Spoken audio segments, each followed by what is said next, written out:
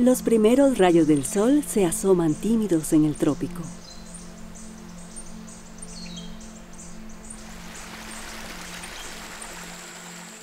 Desde un pequeño musgo de unos pocos milímetros hasta árboles que sobrepasan los 40 metros de altura, cohabitan estas regiones. Estos bosques se caracterizan por albergar altos niveles de biodiversidad, llenos de organismos vivos de todas las formas y tamaños. En nuestro planeta predominan las plantas que producen flores, semillas y frutos, las angiospermas. Hace 100 millones de años, estos seres vivos iniciaron una extraordinaria y rápida diversificación que ha hecho que estén presentes en prácticamente todos los hábitats del mundo. Pero, ¿cuál es el secreto de su éxito?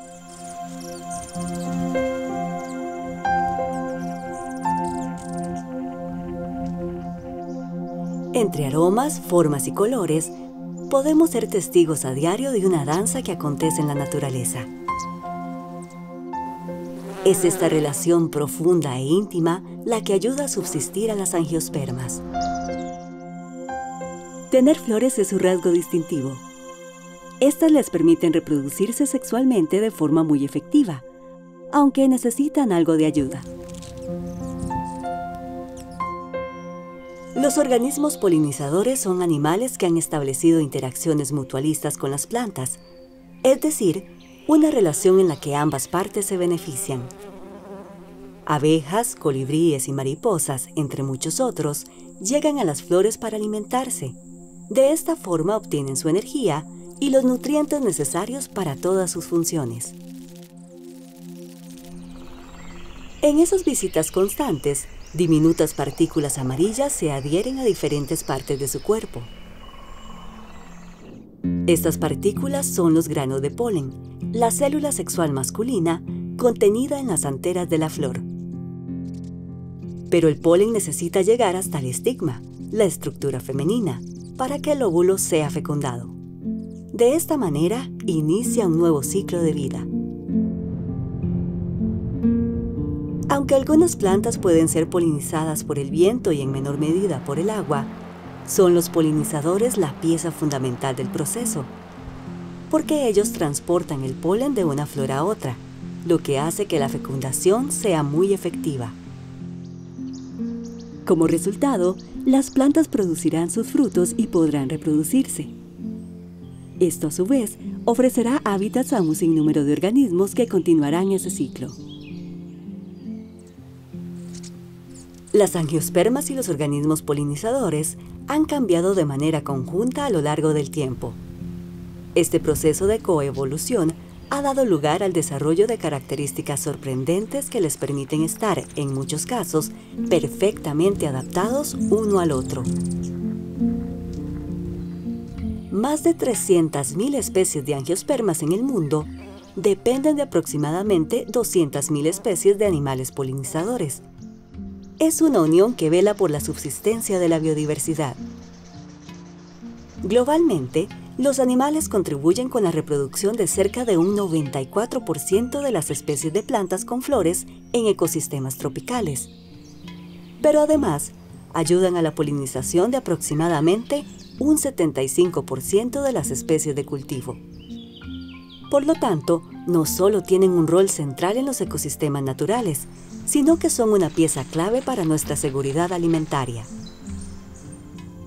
En estos agroecosistemas, diferentes especies de aves, abejas y murciélagos contribuyen a polinizar hasta el 35% de la producción agrícola del mundo. Estos polinizadores benefician al 87% de los cultivos alimentarios a nivel global y a la reproducción de plantas que son el insumo base de muchos medicamentos. Entre los organismos polinizadores, las abejas son los insectos que por excelencia participan en esta tarea, ya sea en solitario o con su colmena. Gran parte de los alimentos que hoy en día se consumen y comercializan masivamente dependen directa o indirectamente de la polinización que ellas realizan. Por tanto, Su labor en los ecosistemas también impacta a la economía. Se estima que la contribución de los insectos polinizadores a la producción agrícola mundial es de aproximadamente 190 mil millones de dólares al año. Y solo en los Estados Unidos se estima que las abejas ayudan a generar 15 mil millones de dólares por las frutas y vegetales producidos cada año.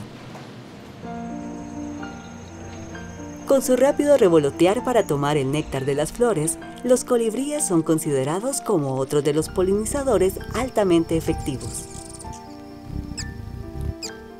Especialmente abundantes en las regiones tropicales y montañosas, se encuentran entre las aves más pequeñas del mundo, con un peso que puede ser tan solo de 2 gramos. Estas activas aves son criaturas fascinantes, y su forma de vuelo es su sello particular, Mueven sus alas en forma de 8, a una velocidad de 80 veces por segundo. Ese gran gasto energético hace que necesiten alimento varias veces al día. Un colibrí podría llegar a visitar hasta 2.000 flores diariamente, por lo que su aporte como polinizador es indiscutible. A pesar de la importancia que tienen los organismos polinizadores en los ecosistemas, están enfrentando múltiples amenazas. La contaminación y la pérdida de sus hábitats son solo algunas de ellas. Durante décadas, la destrucción y alteración del hábitat de muchas especies ha sido el resultado del cambio en el uso del suelo.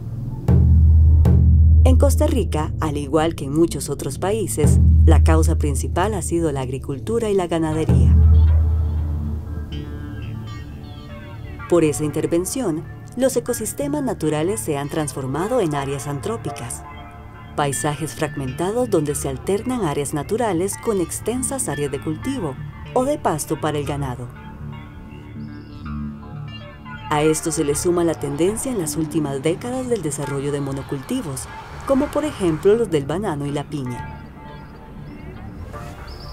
Estos sistemas son altamente dependientes de insumos agrícolas perjudiciales para el ambiente, como lo son los pesticidas. Así, los organismos polinizadores no solo pierden sus hábitats, sino que se enfrentan a los efectos de esas sustancias tóxicas. La emergencia climática que vivimos representa una amenaza sin precedentes para la biodiversidad en general. Las interacciones planta-polinizador son muy vulnerables a estos cambios. ¿Por qué? Por la codependencia entre las especies. Si una se ve afectada, la otra posiblemente también. Como resultado, tanto plantas como polinizadores pueden sufrir alteraciones en sus poblaciones y funcionamiento. En algunos casos, las especies de organismos se desplazan a mayor latitud o altitud en busca de condiciones climáticas similares a las que están acostumbradas. Pero si no son capaces de adaptarse, sus poblaciones irán disminuyendo hasta que eventualmente las especies se extingan. En este punto resulta difícil anticipar cómo las relaciones mutualistas se verán afectadas, y cómo podrían las especies reorganizar esas interacciones. Estas alteraciones en los sistemas de polinización dibujan un futuro incierto, porque es poco probable que podamos subsistir sin ellos. Pero, ¿qué estamos haciendo para tener ecosistemas saludables? Ante este panorama, ya se están realizando esfuerzos considerables en investigación para comprender de qué manera las especies podrían responder a estas amenazas. Invertir en educación, en sistemas alternativos y sostenibles, como por ejemplo la agricultura orgánica y familiar, el control biológico de plagas, la diversificación de cultivos y la creación de pequeños espacios verdes en las ciudades darían una nueva perspectiva a nuestra relación con los ecosistemas. Esto sin olvidar que todo inicia en los sistemas de polinización y que por tanto nuestra propia sobrevivencia depende de cómo cuidemos a ese primer eslabón, que es pequeño, pero de gran impacto en el ciclo de la vida.